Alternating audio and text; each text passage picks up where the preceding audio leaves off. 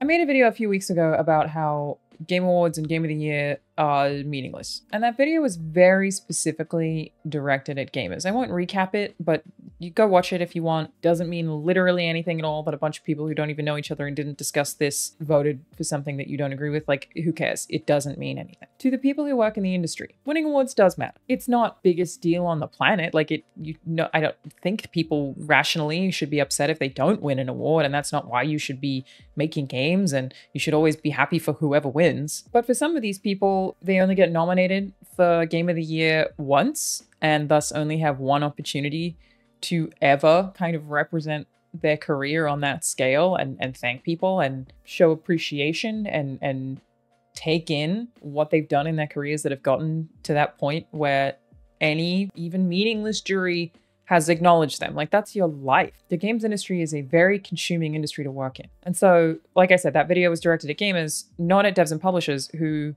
it does matter to. And it makes sense that it matters to. And that's why I wanted to talk about this year's Game Awards. I'm not going to be the first person to say this, and I also feel like this conversation kind of comes up like every year in different facets, but I still wanted to address it because this year's Game Awards to me felt a little, I want to say disrespectful, even though that feels like a very heavy word to use, but I think it's probably the most appropriate considering the context. So the Game Awards is certainly um, a show about marketing. That's how it funds itself, right? And I have plenty of positive things to say about Geoff Keighley and the position that he's in and what he does. Like, I think, frankly, as an industry, we're lucky to have someone like Geoff. Like, the fact that an independent person is of their own accord creating these shows solely because they love video games and to keep it afloat and to pay people and to make it bigger and cooler and better and more exciting. Again, as an independent, like there are so many worse cases for this being done. As somebody who also runs an award show, uh, I created and I'm the director slash writer slash producer slash whatever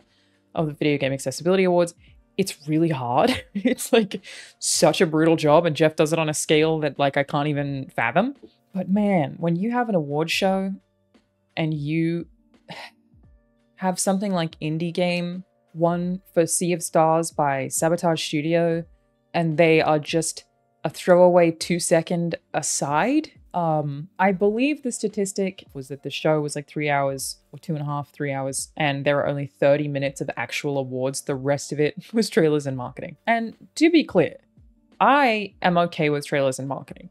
Like, I've heard criticisms that the Game Awards of people like, it's just a bunch of trailers. I'm like, yeah, I love those. I recognize that they're advertisements. I get that. But I love video game advertisements. Like, I love getting excited about the new stuff that comes in the games industry. Like, we all know that. And we know that that is why Geoff gets views on the Game Awards. People tune in for the reveals, they don't tune in for the awards. While every other award show is declining in popularity, the Grammys, the Oscars, the Game Awards increases year over year almost exponentially. Like, it is such growth because of the way that the show operates. But while knowing the show is that, this year, um, I think went a little too far for comfort. So obviously I already mentioned Indie Game of the Year. Basically, if you didn't see it, they just they just read it out. Nominees for Best Independent Game. Cocoon, Dave the Diver, Dredge, Sea of Stars, and Viewfinder. And the Game Award goes to Sea of Stars. Congrats, Sabotage. Here are the nominees for Best Community Support. And I had heard before that the Game Awards does this when there is nobody there to accept the award there are alternatives. Let them play a video. For these people who made Sea of Stars, who maybe only have this opportunity one time to be recognized on this scale, and their whole careers lead up to this point, to take that away from them, especially because for this year, especially, and last year, so many of these teams worked through the pandemic, which was so difficult for game development. And you have an opportunity and a platform and, and a name, the Game Awards, to have an impact on their lives forever. You know, that's a thing that sticks with them forever. And it's rushed off to run into an overly long segment with Kojima and Jordan Peele, which by the way, that game looks sick. Like we saw nothing, but I was so happy to see it. Not happy to see that conversation at the expense of winner speeches. So not only are some of them removed, they also got played off. And it was very brutal to watch uh, a particular studio talk about somebody who died and the music starts. They're playing them off. I wanted to note that it sounds like you can't hear the play it off audio as well as we could hear it in the room in some of the streams. Uh, but we also saw that in person they had a sign saying, please wrap it up.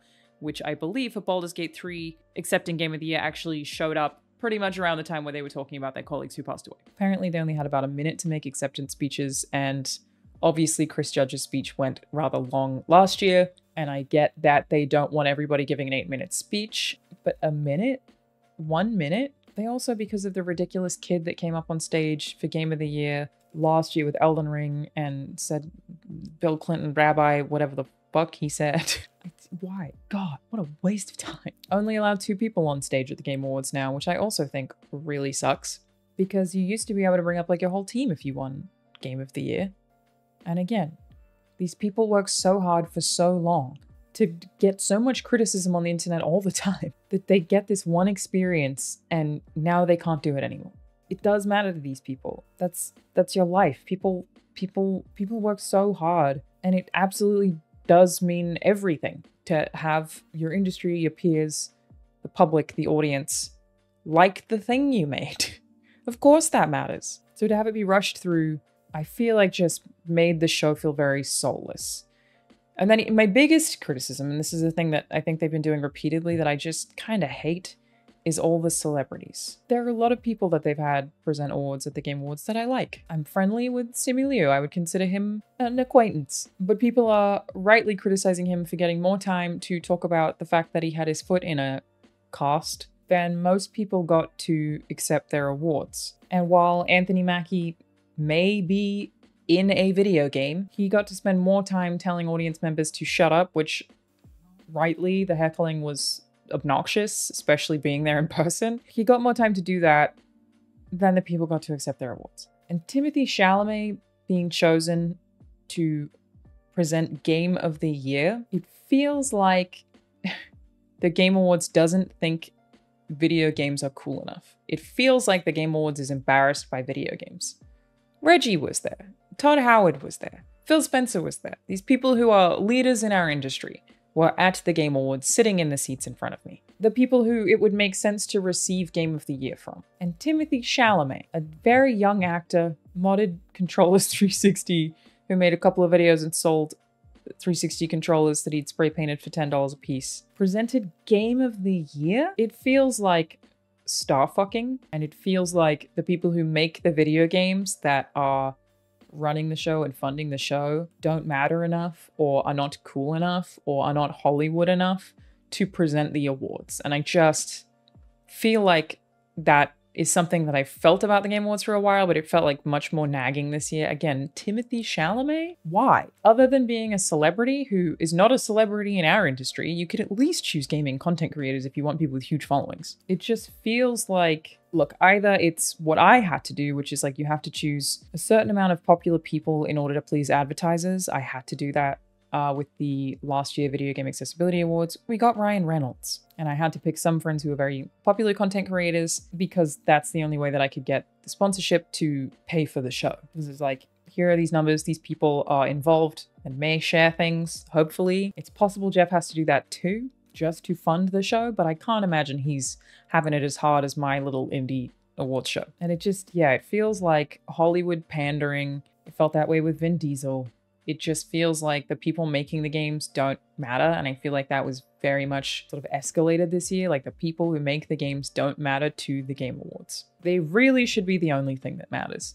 Yes, we all watch for the fun trailers, and yes, I have a great time watching those, and those are why I am excited for the most part. No, I do not ever want that to come at the expense of the people who work on making these video games. The people who work on the video games are the reason we get to enjoy the trailers, and the reason we get to be excited about what's next, and the reason that we get to experience any of the things we experience that make this show relevant. My point is really just I get that it's hard. I think I maybe get that more than most people do. I understand that making an award show is really hard. And I don't have a ton of insightful stuff to say here other than just like sharing disappointment that I think I've seen a lot of my peers also share. That this year especially felt actively kind of disrespectful to game developers and game development. And if anything, I just feel like talking about it and airing it here and everybody else who's airing it, in theory, if you have enough people airing it, um, it will be taken seriously. I just feel very sorry for all of the people who worked so hard to create things that we all get to enjoy on our couches at home. For them to have an opportunity to be recognized for that as people and not just as you know, the splash screen when a game starts up, and it feels like it was reduced and made irrelevant as much as possible. It almost feels like the Game Awards and Winter Game Fest should be two separate nights or two separate events because calling it the Game Awards almost feels dishonest at this point. I don't know. To every game developer out there who worked on any of the games who were nominated or not nominated this year, I just want to say thank you. Um, I think you're really fucking cool. I've been inspired by you since I was a child, and I am where I am now because I had the opportunity to see different developers speak at different conferences with different award ceremonies and to see how passionate people are and to see how clearly emotional they get about the things that they've created that take years and years and years of their lives that they will never get back for one opportunity for one kind of flash in the pan too because everybody moves on so fast. I just um thank you for making video games i think you're way cooler than actors like so much cooler than actors and i would love to hear what all of you have to say and i hope that you know that there are a lot of people that appreciate the work that you do and the the time that you give us and the impact that you have on our lives as well. And I think a lot of people feel the same way that I do. Not gonna say I know how to run an award show better than Geoff. Again, I run one, I don't. But uh, yeah, I don't know. I just still felt the need to make this to say something, I guess, to just try to advocate for it. Playing music when somebody was talking about a colleague who worked on the game who died, dude. What are you doing?